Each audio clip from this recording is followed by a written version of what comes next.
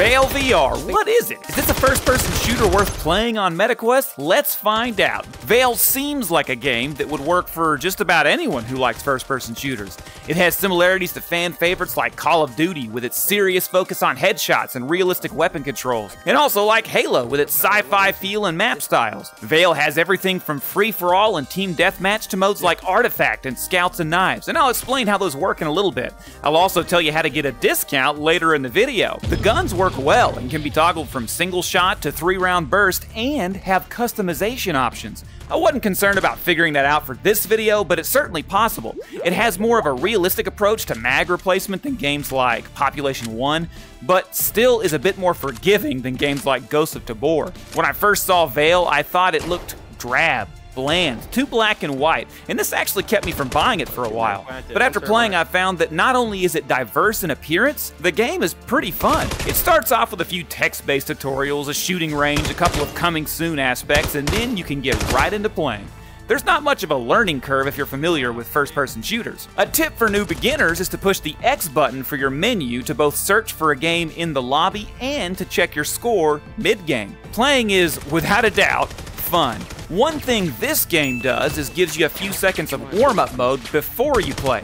Beginners are going to enjoy this part, but I wonder if veterans find it annoying. Let me know in the comments. There are several different gaming modes. Some I absolutely love, and some are just irritating.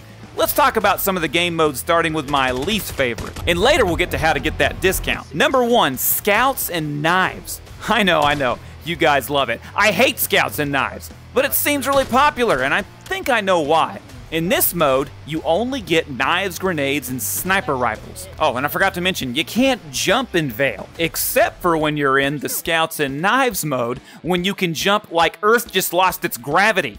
So basically, in Scouts and Knives, everyone's hopping around with single shot bolt action snipers while both sides can hear each other. It's team based, but it's hectic enough to feel like a free for all. I can see the appeal, but I found myself begging people not to pick it. The artifact mode was a lot of fun. Everyone races in the beginning to get the artifact. I never got it. Then you have to go set it. The other team tries to keep you from setting it. So naturally, it takes a lot of team cooperation to cover each other and stay alive. What I like most about this mode is that once someone dies, they're dead. No reviving. You watch the match from a player perspective in the viewing room after you die, but don't worry. In this mode, you play it several times to acquire points. So you'll only be dead till the next round begins, which shouldn't take long. I also really like Capture the Orb. In this mode, it's pretty simple and straightforward. Both teams have a base in which there's a floating orb. The goal is to get the orb from the other base, but you also have to protect your own orb in the process. So yeah, it's basically just capture the flag, but with sci-fi glowing balls of plasma. Another great mode is Hardpoint. Hardpoint. Secure the area. You have to hold the fort, so to speak, which is just a random circular spot that is chosen after the round begins. This mode is one of my favorites because the hardpoint changes after every round. Hardpoint moving. Get ready. So if your map strategy worked in the last hardpoint, you might have to change it up because now it's in a different spot. Hardpoint location revealed. Which reminds me of a major problem this game has. Spawn camping is a real issue on some of the maps. I don't know if that's fixable, but some of the smaller maps have a huge issue with the opposite team being able to just set up camp and kill you every time you spawn in, with no time to react. It's not a problem with every map, but when it is an issue, you'll know it. Team Deathmatch is fun and straightforward, but these other modes add a lot of reason to keep coming back.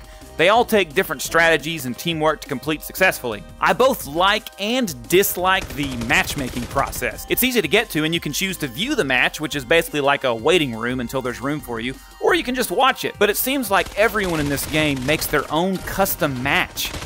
If you guys would just join other matches, the waiting process would be much quicker. There's like a dozen available games all the time, but they're all filled with like one or two people. Just join an existing match. And what's with all the picnic and free for all games? Those were like joining a madhouse. Oh Which is why I'm not even talking about them. I really like that this game is fast paced. Each mode has you play the match several times to acquire points. And once you actually get into a lobby, you'll find that an hour will pass and you've played a ton of games and modes. It's pretty addicting, but you can leave at any time. The graphics are pretty good on Quest 3. I didn't have many complaints. They focused on the look of the characters, the maps, the guns. The only graphics I thought were kinda crummy were the grenade effects. Explosions weren't too impressive, obviously two dimensional, and the smoke bombs were weird.